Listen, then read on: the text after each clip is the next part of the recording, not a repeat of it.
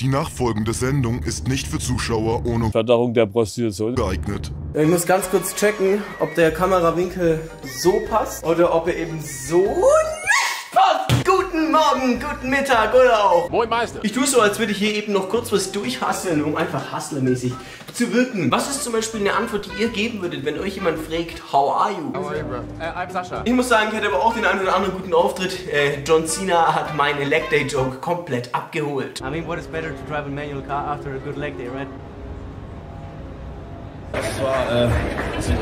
So viel zu Miami, Freunde. Heute gibt's wieder mal eine klassische Episode und zwar Horror Date Stories. Wer von euch hatte da draußen ein Date, bei dem er sagen musste, holy shit, Digga? Schreibt's mir bitte auf gar keinen Fall in die Kommentare, ob das der Fall war. Beim vierten Date erzählt er mir, dass er und seine Freunde sich jedes Mal Videos von ihrem Stuhlgang schicken. Da muss ich wirklich sagen, wow. Drecksau! Äh, er hat wirklich einer Scheiße geschickt! Respekt, Jungs. Er hat ein One-Night-Stand-Gästebuch geführt, in das ich mich eintragen sollte. Ja. Wer von euch führt auch so ein Buch, ja? Nee, also wirklich, sowas geht gar nicht, ja. Also, wer sowas macht, ist wirklich meiner Meinung nach unter aller Würde, die ähm, Willigkeit der Frauen auszunutzen. Und das dann noch auf so einer dekadenten Art und Weise in einem Gästebuch festzuhalten, Leute. Also, mit wie vielen Frauen wir, also unterschiedliche Frauen wir Sex hatten. Bei mir waren es so 80 bis 100. Also ja, hier ein paar nette Mädels. Ich, weiblich damals 22, lernte ihn über irgendeine Dating-Seite kennen. Haben wochenlang geschrieben, telefoniert, Bilder gesendet.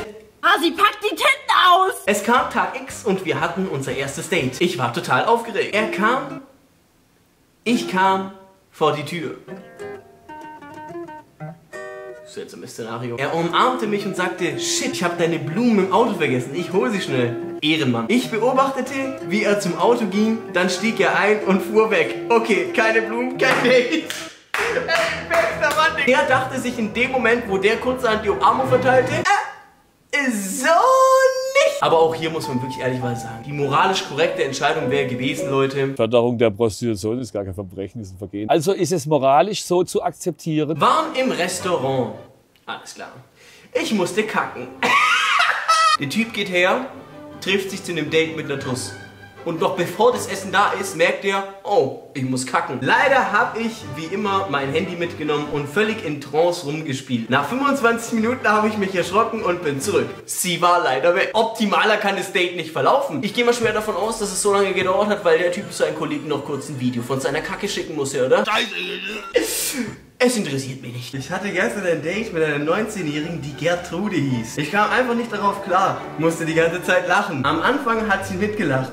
Dann hat sie angefangen zu weinen. Das tat mir so leid. Gertrude, Digga. Tut mir echt aggressiv leid, Malaga, versteht?